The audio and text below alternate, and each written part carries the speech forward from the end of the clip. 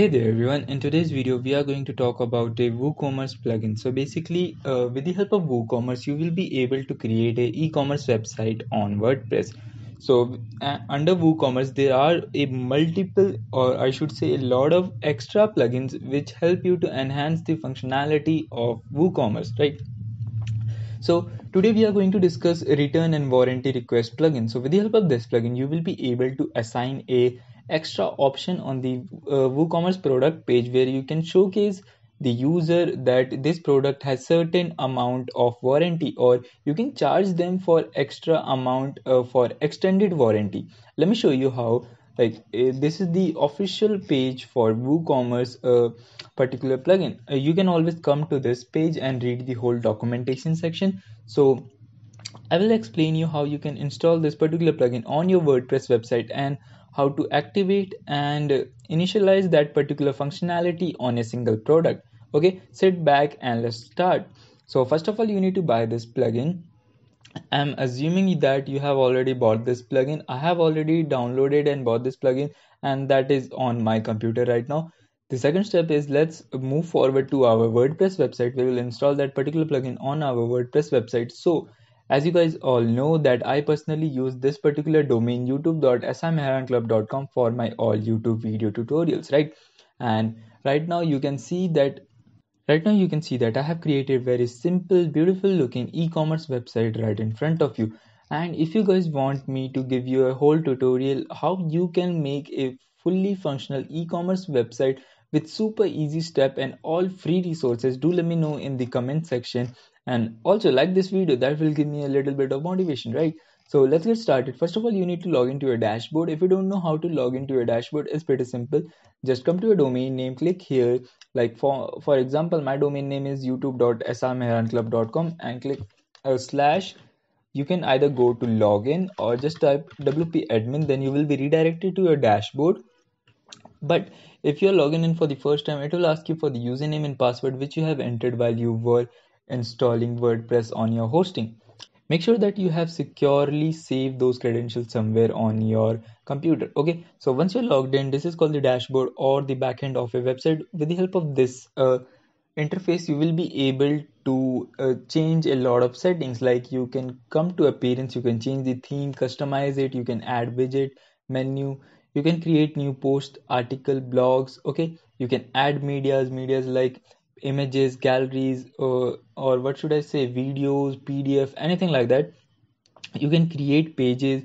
You can monitor the comments which people are giving on your article right? You can install certain kind of plugin like today we are going to install that warranty plugin and like plugins are basically some kind of functionality which will enhance uh, which will give you an enhancement or like uh, extended functionality on your website. Like uh, let me give you an example. If you want a slider on your website you need to have a slider plugin like smart slider or Slider Revolution or any kind of plugin that is related to sliding functionality right?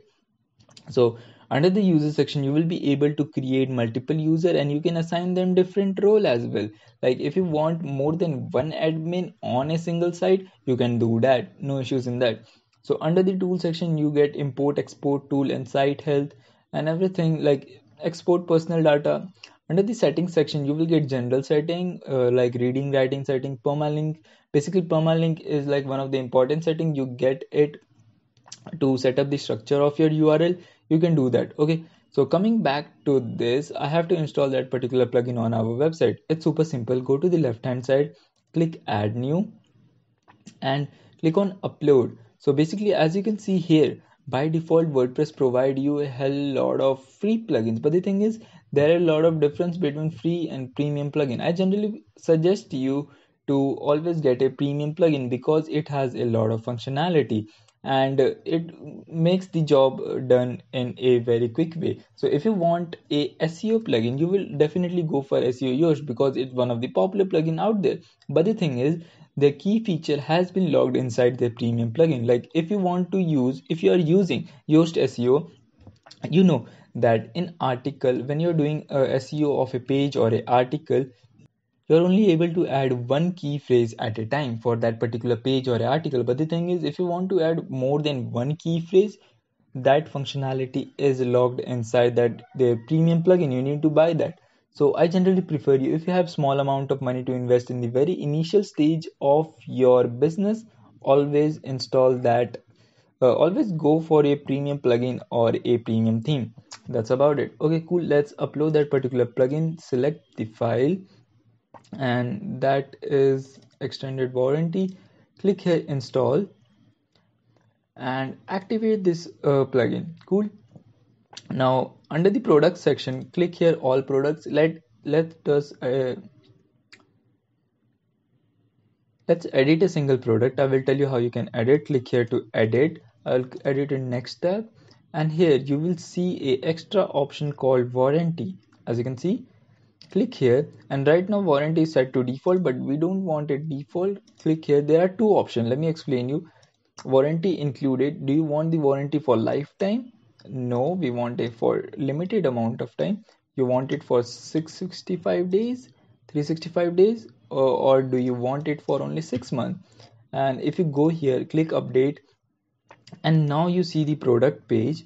Click here the url there will be included that this this product has a warranty of six months. But what if you want them to pay extra for the warranty? Like let us uh, charge them for the warranty warranty as an add-on. Okay? So how much do you want them to cost? Add a row. Uh, i want them to cost 30 bucks extra for the warranty of six month okay?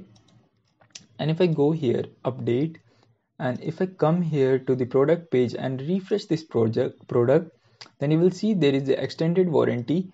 And if I add this to the card then the extended warranty plus the product uh, price that will be added to the card 50 plus 30 as you can see the total amount is uh, 30 the price of the product was 20 and the extended warranty 30 so total amount will be 50 so as you can see but you can add different kind of what should I say different uh, warranty cost. Like if you want uh, for uh, what should I say nine months then you can add it for $90 nine months. So that people can select warranty according to their budget right? Just go on the product page then you will see there are two options nine month warranty and nine days. Actually i need to change that. You can always come here nine months and update it come here and just refresh it so whenever people want to pick their warranty like nine months they can always check it and go to the cart page and buy that particular item. So i hope you really get the point of what i was trying to explain in this particular video with the help of warranty plugin which has been officially provided by woocommerce. That is a great thing right? Woocommerce is a big brand. So that's it for this video. I want to wrap this up. That was a quick video. I hope you really liked this video. If you did just give it a big thumbs up. And as always thanks for watching. I'll catch you in the next one